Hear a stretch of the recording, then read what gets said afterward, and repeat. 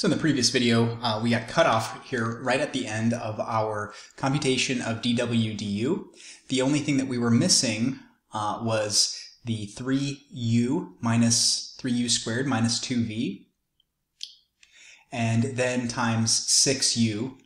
And now everything is in terms of our underlying independent variables. So just like the case where we had t as our underlying variable, for z. Here we have two independent variables, both that ultimately affect the value of w. So it's okay for dw du to have u and v in it because those are at the bottom of our chain. We don't want to mix in variables higher up in the chain because those can always be expressed in terms of u and v. So to compute the next one, in order to get dw dv, what we need to do is follow the same chain of events, but now we need to get there by saying, well, how is W affected by V? Well, W is affected by V through X and then X through V. W is affected by V through Y and then Y through V as well. So that tells us exactly what to multiply together. To get dW dV, we need to take, as we can see here, dW dx times dx dv. And it should always be the case that these units work out. So you see here that we end up with dw dv. This is, once again, the x effect, how x affects w, plus how y affects w. So we have dw dy. That's following the second chain here. And then times dy dv will give us dw dv. Except once again, this is the effect due to y. So we have these two partial derivatives, those we already knew. We, we now do need to compute dx dv, but recall that x does not directly depend on v. x is, is a function of u. So if you take the derivative of 4u plus 0v with respect to v, remember that 4u is a constant. We're holding u constant here. So the derivative of 4u with respect to v is 0. And then the derivative of y with respect to v is going to be dy dv. The derivative of 3u squared is 0 because that's u is constant. The derivative of negative 2v is minus 2. So uh, we can save ourselves a little bit of work here because we know that this whole term is going to be 0 since uh, dw dx is not 0, but dx dv is 0. So when you multiply those together, you are going to get 0. And now we just need to account for the second term. So dw dy, we know that from above. dw dy is x squared e to the y. So x squared times e to the y. And then multiplied by dy dv, which we just found out is negative 2. So lastly, I just want to get everything in terms of u and v since those are the underlying variables here. So x, recall, is equal to, um, let's go back up here, x is equal to 4u. So we're going to replace x squared with 4u squared. e to the y, recall that y is 3u squared minus 2v and all of that multiplied by negative 2. So I'll just stick my negative 2 out front over here. And there's our final answer for dw dv.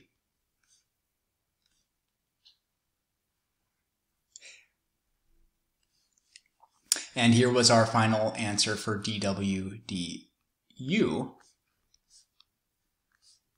dw du. Let's try that one more time. du. And this was our final answer for dw du.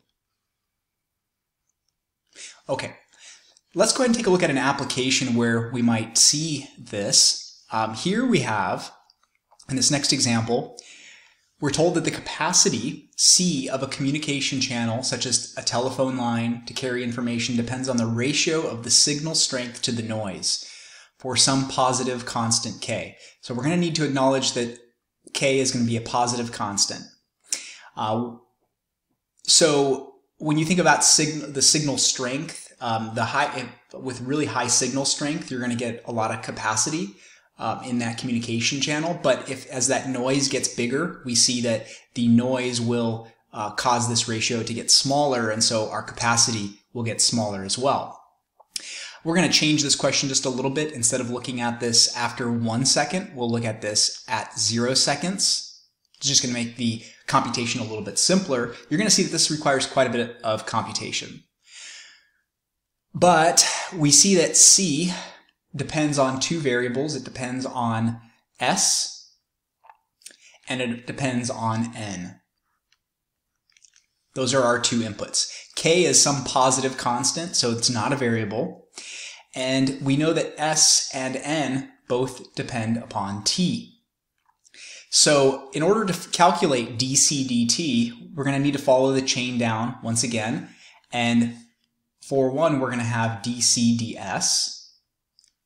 And then we'll have ds dt. So we're back to the Calc 1 notation here because S only depends on one input and N only depends on one input, but C depends on two inputs. So here we'll have dc dn, and then here we'll have dn dt. So to calculate this, we see that we're going to need to take, to get dc dt, we're going to multiply, going down the chain, dc ds by ds dt. So we'll have dc ds times ds dt. Plus, we're going to need to get the contribution of capacity due to n, and that's going to be dc dn times dn dt. So we'll have dc dn times dn dt. So we need to compute these partials, and in order to do so, this can get a little bit messy, so we're going to go ahead and jump over to Wolfram Alpha. I'll show you how you can compute these four partials using Wolfram. So let's go ahead and switch over to that. So to do this in Wolfram Alpha, first of all, here's our function. This is uh, this is C right here, and uh, so C is k times ln 1 plus s over n. And I need to specify which partial I want. So because I want dds, I want the derivative with respect to s first, um, I just type dds and here is the output. So it's telling me that the partial of c with respect to s is k over n plus s. So we can come back here and we can write down dc ds is equal to k over n plus s. And to get dc dn, I'm going to do the same thing. I just go back to Wolfram alpha and replace s with n. And we come up with negative ks over n squared plus ns. Now, because we specified in Wolfram Alpha that we're taking the derivative with respect to capital N, it treats everything else as a constant. So we don't have to worry about specifying that to Wolfram Alpha. To get ds dt, I am going to, uh, again, could do this in Wolfram Alpha. We would just have to type in d slash dt of 4 plus cosine parenthesis 4 pi t. And when we do that, we come up with negative 4 pi sine of 4 pi t. To get dc dt similarly, we would come up with 2 pi cosine of 2 pi t. And now we can put these pieces together. So dc dt will be the product of these two guys here. So k over n plus s times negative 4 pi sine of 4 pi t plus, now we have dc dn, which is negative ks over n squared plus ns times 2 pi cosine of 2 pi t. Now, what we want to know is, is what is dc dt zero seconds after transmission? Is the capacity increasing or decreasing at that instant. So first of all, I need uh, everything that depends on time. I'm not going to go ahead and plug in 4 plus cosine 4 pi t for s here. It's just going to be a really long, messy thing. But once I would replace n and s with the, their respective two functions, this one and this one, I would then substitute in 0 and evaluate. So really what I need is just to know what n of 0 is and what s of 0 is. So if I plug in 0 for t here, I'll get 2 plus sine of 0, which is 2. Here I'll plug in 4 plus cosine of 0, which is 4 plus 1, gives me 5. And then I'm also going to have to evaluate sine of 4 pi t when, pi, uh, when t is 0 and 4 pi 0 is 0, sine of 0 is 0. Cosine, I'll need cosine of 2 pi times 0, and that's going to come out to be 1. This just makes it easier uh, to plug everything in. So now I'm going to plug everything in to dc dt. I get that it's going to be k over 2 plus 5, which is 7, times negative 4 pi sine 4 pi t is 0. So this whole, whole term here is going to be 0. Plus negative ks, s is 2, uh, sorry, s is 5.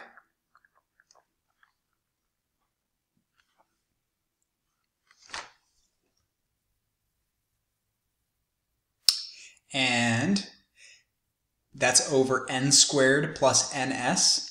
So if I square n, I get 4. n times s is 10. 4 plus 10 is 14. 2 pi times cosine of 2 pi times 0, which is 1.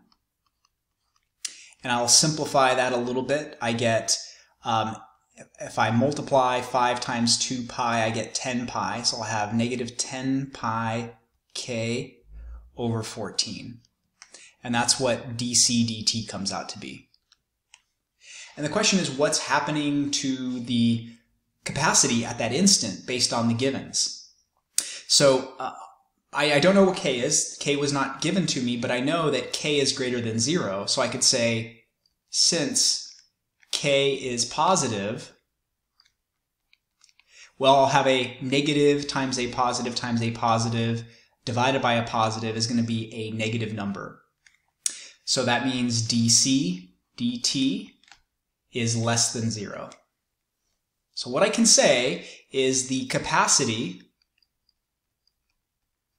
is decreasing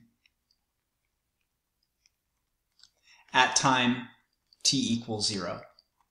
That's really all I can say. I don't know by how much. If I knew the value of k, I could determine that, but that's going to vary from line to line from different um, type of infrastructure to different type of infrastructure. So all I can really say at this moment is that the capacity is decreasing at t equals zero. So we'll stop there. We'll take a look at one more example in the next video where we'll look at uh, a more of a related rates looking problem.